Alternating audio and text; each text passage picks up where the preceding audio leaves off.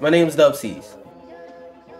The shortened version of the story behind my name is my initials are WC, but there's already a rapper named WC, so you know that might be a, a, a confusion as to which one is me and which one is WC, like Westside Connection, West Coast, whatever his name was, right? There might be a confusion, so I went through a few different names like Lil CZ, WCZ, WCZ Red Bull Innocent, all that crazy stuff. So another reason why I also didn't like WC is because W takes a long time to say. And whenever people will call me WC, they'd shorten it to Dub.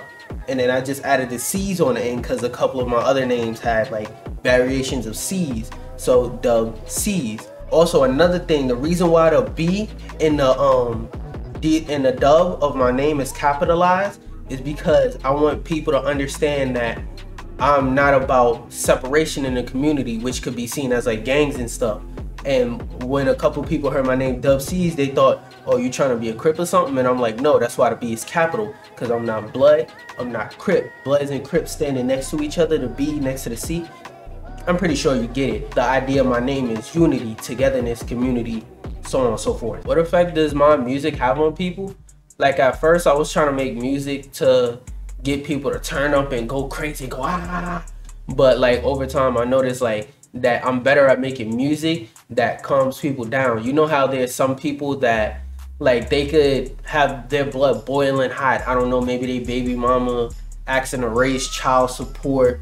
They just stepped on a Lego they phone just died when they was talking to their baby girl or whatever. Like I've learned that my music has effect on people to where it'll calm them down and just make them chill and think for a second. Uh, what would I like my music to do? I don't know how to put this, but basically I want my music to change the industry um, standard.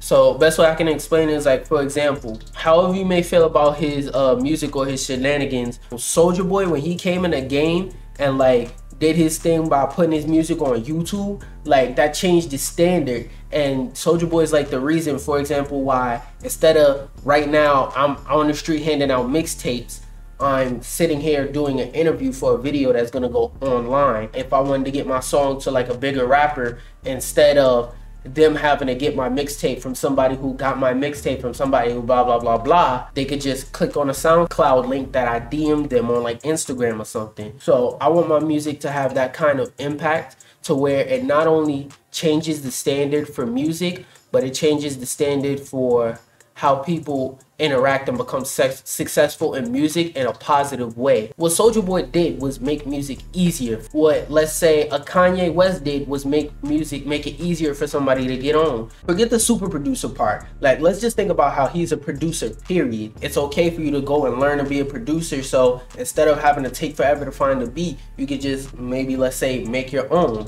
or like make it so that somebody who makes beats but wants to also wants to rap is not afraid to go ahead and just start doing music in more than just an instrumental uh, type of way. That's what I really would like my music to do. And to wrap it up, that's been three questions with DuB Ceez and peace out. Godzilla. No.